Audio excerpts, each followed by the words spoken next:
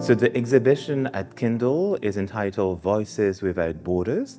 It presents the intimate friendship and artistic relationship between two Lebanese female artists, Simone Fattal and Etel Adnan.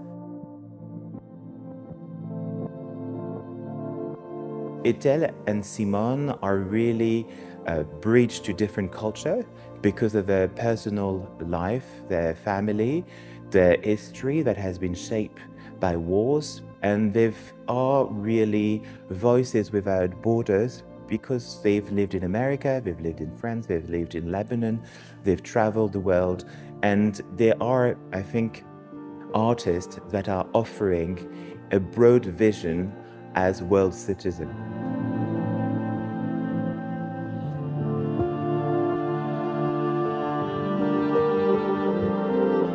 Exhibition focuses on the literary aspect, which was the cement of their friendship. So this is why you start with the first section of the show describing post-Apollo project. And it's also connected to this idea of uh, the space age in which we are after obviously Neil Armstrong setting foot uh, on the moon. It changed our perspective and also both of them have also connected it to our awareness or non-awareness of discarding the planet and the pollution. We are in need of re-evaluating the beauty of nature and celebrating it and protecting it. And then you have two films that are offering uh, I would say, a window, a sort of intimacy and understanding better, I would say, this, the, the, the questioning and the way they approach art, literature, and connect it to real life, what it meant. Alors, il y avait le ciel bleu clair, les montagnes bleu foncé, le sable orange. C'était une peinture abstraite superbe.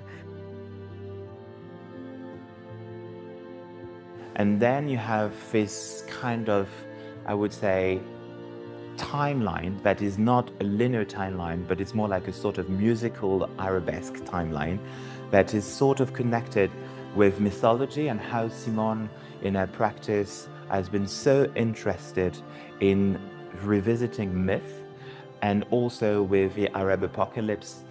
Obviously, it's connected to uh, the Lebanon war, but even it starts before with the Egyptians. So you have this kind of trajectory in what we call the Middle East or the Mediter around the Mediterranean Sea. شمس صفراء شمس مجنونة شمس هادئة And then you have something maybe like a little bit more poetic, celebrating the beauty of nature in simple things with different media. Tapestry weaving, drawings, paintings, ceramics of clouds, mountains, celebrating the beauty and the shape of colors that are also a way of alluding to a bigger history that is an international, I would say, language. It's not a retrospective, it's not a survey, it is a journey. And we want, with this show, to embark the public in that journey of curiosity and generosity.